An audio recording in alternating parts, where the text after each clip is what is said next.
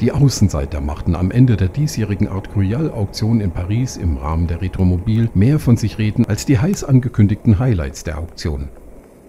Diese blieben eher unter den Erwartungen. Der Dino Berlinetta speziale Prototyp, bei dem der Schätzwert zwischen 4 und 8 Millionen Euro gelegen hatte, wurde für 4,4 Millionen Euro verkauft und war damit der Rekordträger für den höchsten Preis in der Auktion. Bei dem angebotenen Ferrari 166 Spider Corsa fiel der Hammer bei gerade einmal 2,9 Millionen Euro.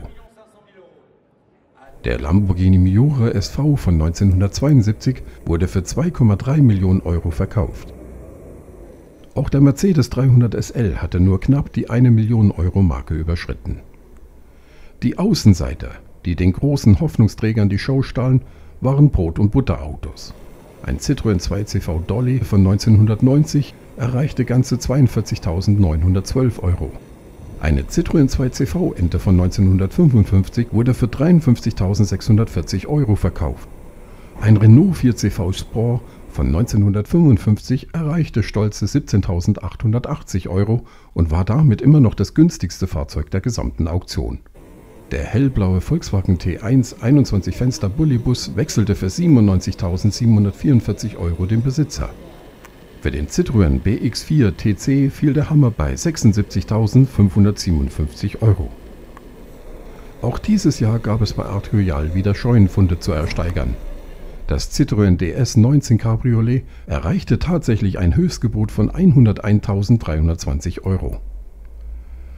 Betrachtet man dagegen das Gebot für den Citroën DS Concorde mit einer Karosserie von Chopron, der für 157.344 Euro versteigert wurde, erkennt man einen deutlichen Wertsteigerungstrend bei unrestaurierten und originalen Fahrzeugen.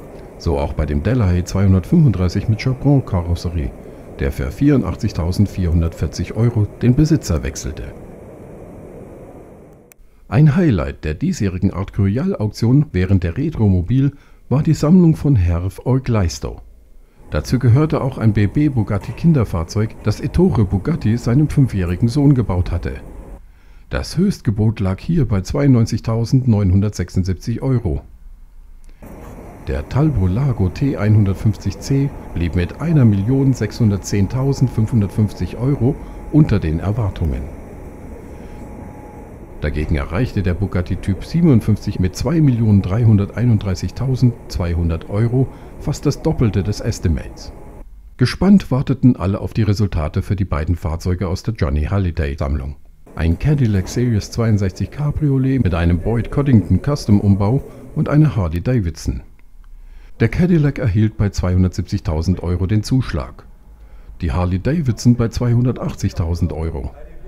Und hier waren sie dann endlich, die Rekordergebnisse. Denn die Harley hatte ein Estimate von 20.000 Euro, der Cadillac ein Estimate von 50.000 Euro. Die Umsätze kamen einem guten Zweck zugute